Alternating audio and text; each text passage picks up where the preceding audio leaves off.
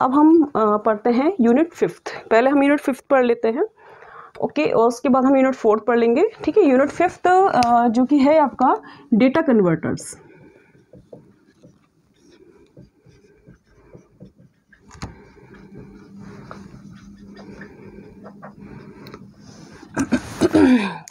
अब देखिए, बहुत ध्यान से समझिए, क्या होता है ये डेटा कन्वर्टर ठीक है तो डेटा कन्वर्टर में आप स्टडी करोगे DAC digital analog converter and analog digital converter digital to analog converter you will study and analog to digital converter you will study okay तो क्या होता है क्या इसकी नीड है?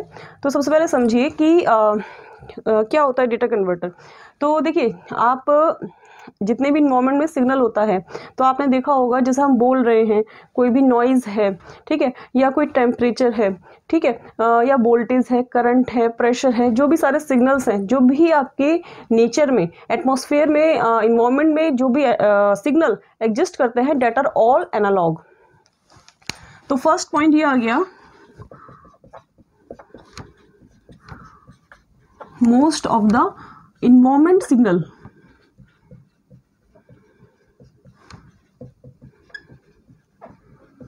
Are analog in nature.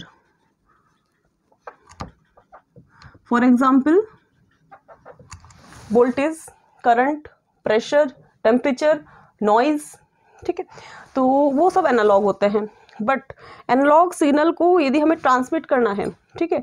किसी प्लेस पर हमें एनालॉग सिग्नल को ट्रांसमिट करना है। जैसे कि यदि मैं फ़ोन से आप बोल रही हूँ, अपनी आवाज़ को मेरे को भेजना है किसी दूसरे एंड पर, ठीक है? फ़ोन यूज़ करना है मुझे तो क्या होगा?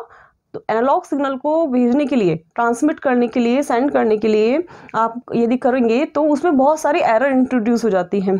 तो एनालॉग सिग्नल में analog signal include some error ठीक है?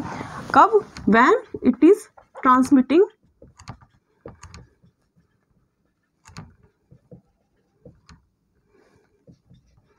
meeting to another place जब हम किसी दूसरे प्लेस पर हम एनालॉग सिग्नल को भेजेंगे तो उसमें एरर इंट्रोड्यूस होने के चांसेस बहुत ज़्यादा हैं। ऐसा क्यों?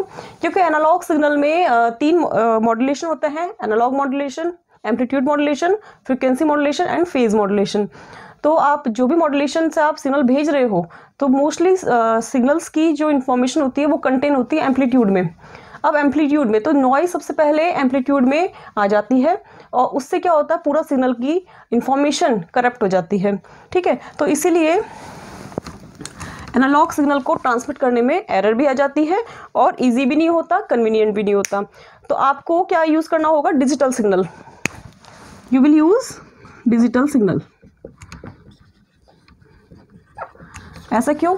डिजिटल सिग्नल क्या होता है? पहले तो ये समझिए। एनालॉग सिग्नल डिजिटल सिग्नल जो ईसी के स्टूडेंट हैं, उनको तो बहुत अच्छी तरह से पता ही होगा। और सी एस अब तो फ़र्स्ट ईयर में है आपका सब्जेक्ट ये वाला इलेक्ट्रॉनिक्स वाला।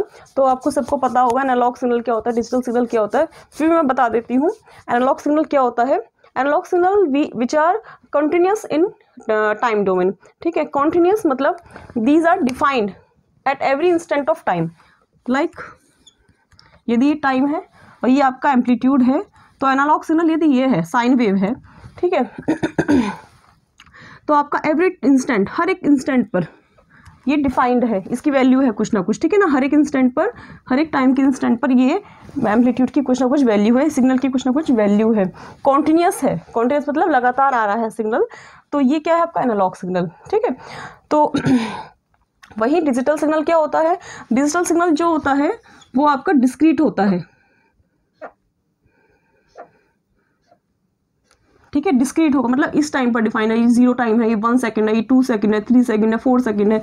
तो इस तरह से जो डिफाइंड है डिस्क्रीट टाइम पर अलग अलग टाइम पर जो डिफाइंड है सिग्नल डेटा डिजिटल सिग्नल तो इस सिग्नल को भेजने में, ठीक है, क्योंकि ये यूज़ करते हैं zero and one binary form ठीक है, इन सिग्नल को भेजने में एरर के चांसेस बहुत कम होते हैं और इसको भेजना ईजी होता है, ठीक है। तो इसलिए हम डिजिटल सिग्नल का प्रोसेसिंग ईजी होती है, इसलिए हम डिजिटल सिग्नल को यूज़ करते हैं, ठीक है। तो इट्स नेसेसरी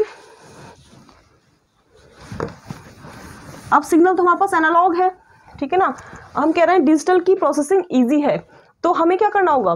सिग्नल को एनालॉग से डिजिटल में कन्वर्ट करना होगा। तभी तो हम बेच पाएँगे। सिग्नल हमारे पास कौन सा है? एनालॉग हम कह रहे हैं डिजिटल में प्रोसेसिंग इजी है। हम यूज़ कर रहे हैं डिजिटल प्रोसेसर तो हमें एनालॉग को डिजिटल बनाना पड़ेगा पहले फर्स्टली ठीक है ना? एनालॉग को क्या बनाना पड़ेगा? डिजिटल बनाना पड़ेगा पहले। उसके बाद हम क्या कर लेंगे? उसकी प्रोसेसिंग कर लेंगे। ठीक है? डिजिटल की प्रोसेसिंग हो जाएगी। और फिर आपको अगेन उस डिजिटल सिग्नल को एनालॉग में कन्वर्ट करना होगा। क्यों? क्योंकि रिसीवर एंड पे भी सेकेंड दूसरी साइड पे भी आपको जो वॉइस सुनेगा, वो एनालॉग ही सुन पाएगा, ठीक है ना? वो डिजिटल नहीं समझ पाएगा, वो एनालॉग समझ पाएगा, ठीक है ना? तो इसीलिए आपको उसे कन्वर्ट करना होगा अगेन डिजिटल टू एनालॉग तो you will need to converter okay first you will need analog to digital converter first end पर ट्रांसमीटर एंड पर और रिसीवर एंड पर you will need digital to analog converter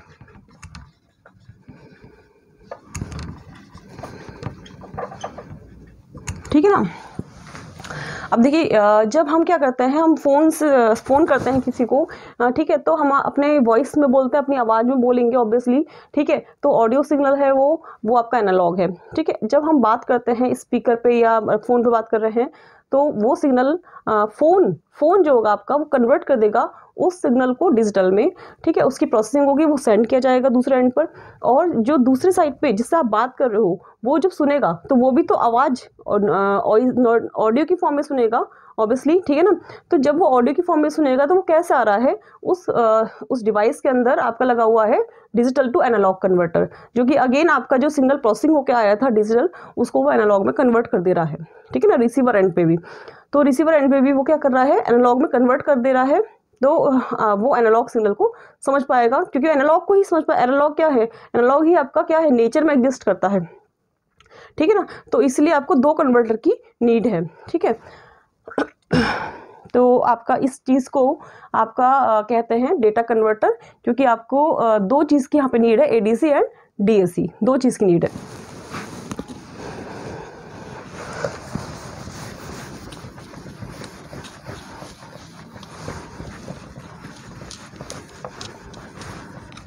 अब एक चीज़ ये भी समझ सकते हैं, जैसे आप कंप्यूटर में कुछ टाइप करते हैं, ठीक है?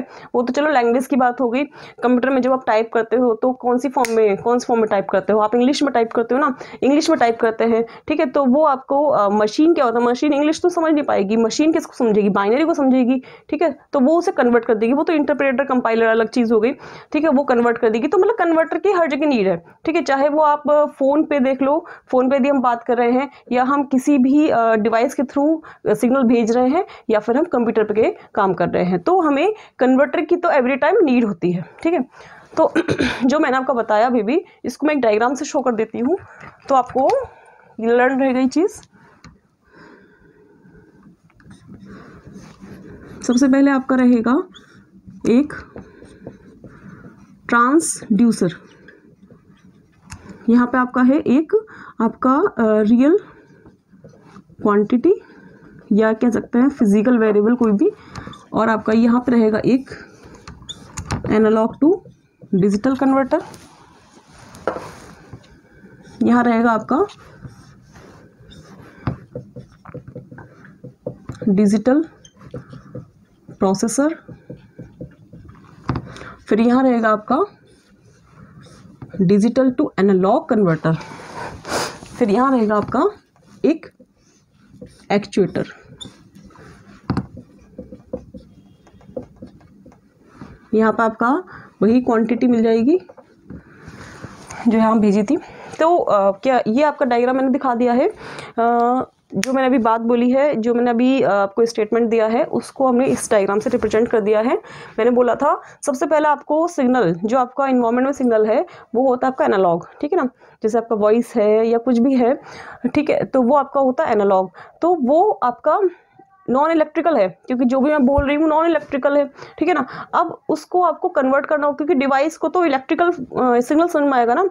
ठीक है तो इलेक्ट्रिकल में कन्वर्ट करना होगा, ठीक है? तो इसके लिए होता है आपका एक ट्रांसड्यूसर ट्रांसड्यूसर एक ऐसी डिवाइस होती है जो कि नॉन इलेक्ट्रिकल सिग्नल को कन्वर्ट कर देगी इलेक्ट्रिकल सिग्नल में. ठीक है? ट्रांसड्यूसर फॉर एग्जांपल आपका जैसे थर्मिस्टर हो गया ये आपका फ़ोटो सेल हो गया। ये आपका हो गया फ़ोटो डायोड। ये सिग्नल क्या करते हैं? वोल्टेज प्रोड्यूस कर देंगे।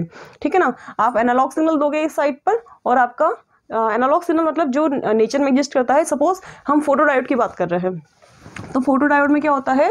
फ़ोटो डायोड में इनपुट जो होता है, वो होता है आपका सनलाइट है ना? नेचर में जो एग्जिस्ट कर रही है सनलाइट तो वो क्या है? एनालॉग है। तो यहाँ पे वो फ़ोटो डायोड कन्वर्ट कर देगा उसे वोल्टेज में। ठीक है? तो फ़ोटो डायोड क्या कर देगा? कन्वर्ट कर देगा वोल्टेज में तो वो इलेक्ट्रिकल सिग्नल बन गया, उसी के इक्विवेलेंट ठीक है ना? तो यहाँ पे आपको मिल गया इलेक्ट्रिकल सिग्नल फिर एडीसी इस सिग्नल को कन्वर्ट कर देगा किसमें डिजिटल सिग्नल में। अब यहाँ पे उसकी प्रोसेसिंग हो जाएगी, और उसके बाद प्रोसेसिंग होके जो हमें डिजिटल सिग्नल मिलेगा, उसको डैक कन्वर्ट कर देगा एनालॉग सिग्नल में अगेन ठीक है? अब ये एक्चुएटर क्या होता है? एक्चुएटर क्या करता है? एनालॉग सिग्नल का कंट्रोल करता है एनालॉग सिग्नल को, ठीक है? तो यहाँ पे आपका टोटल इस तरह से प्रोसेसिंग की जाती है किसी भी सिग्नल को सेंड करने के लिए, ठीक है? तो अब हम आगे पढ़ने पढ़ेंगे। सबसे पहले स्टार्ट जो करेंगे, वो करेंगे हम digital to analog converter digital to analog converter ये हम सबसे पहले स्टार्ट करेंगे, ठीक है?